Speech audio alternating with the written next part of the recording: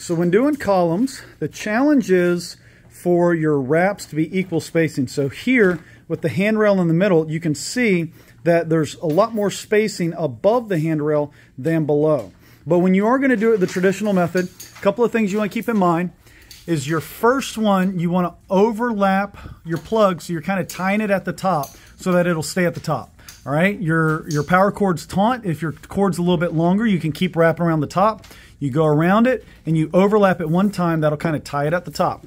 Now that we have it wrapped, there is one, two, three, four, five, six above the handrail I will go ahead and say that there should have probably been seven above the handrail. And so that's the challenge when doing a column is you almost always have to redo the first column two or three times to get your count, to get your spacing. And then you're relying on, you say, okay, now I got this right. I have seven wraps above the handrail and then the rest of it below so that it's equal. And but again, that's the challenge that you run into every time is that you have more wraps below the handrail, and also you can't do it very quick. You got to, um, you know, you got to fight going through between the balusters and the column and everything else. So when I need to lock them together, I don't want to go like this. I want to actually overlap them and then snap it together. That way I can really put some pressure on there and this is helping hold it together.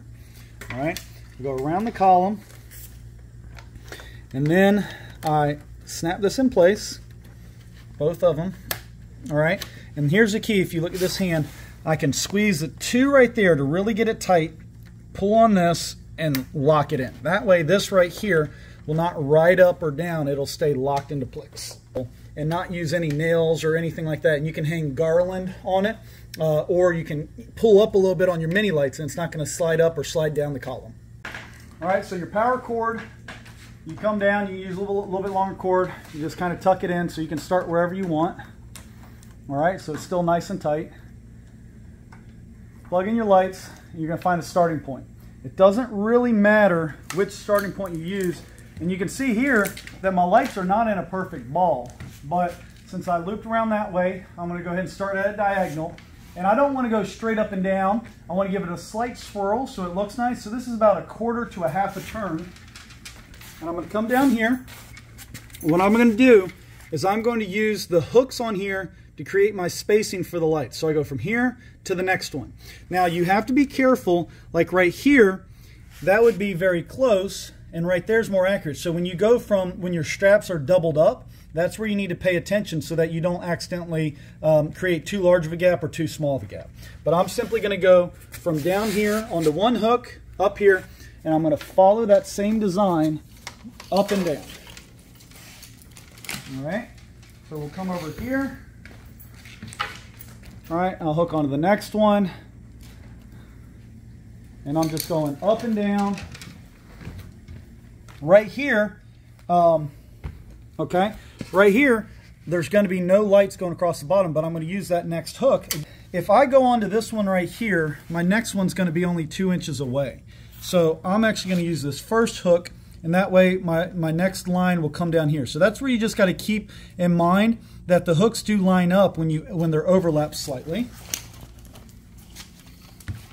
I'm just going to follow this design around.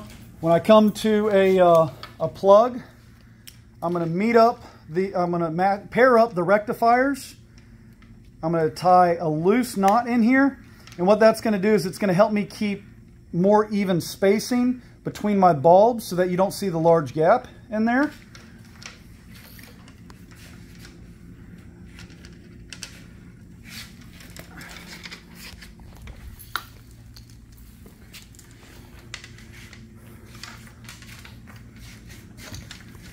All right, now we're getting back around to where it meets up with the very first design. I'll come down, I'll hook it here, and this is my last strand. See, I only have like two or three feet left, so I can't go all the way back up to the top.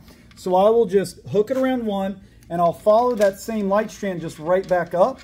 And so there will be a couple more lights, but during the daytime, you won't notice a, um, you know, a bunch of additional uh, uh, strands that kind of like merge together. And you just wrap it around. Now, here's the key. Once you get to the very bottom on a round column, you can take up some of the slack by twisting it a little bit, and now you can come in and adjust your spacing on uh, your column and have it have that, that twirl type look. But when you take a step back, it's even spacing, and then at nighttime, again, you only see the lights on the column. So if you look at this one is the no wrap strap, and that one over there is a traditional spin method, um, you know, which one looks better to you? Or do they look the same? Right. All right. So for trees, I would use the brown straps in either green or brown wire. And for columns, I would use these uh, white or clear straps in, in white wire.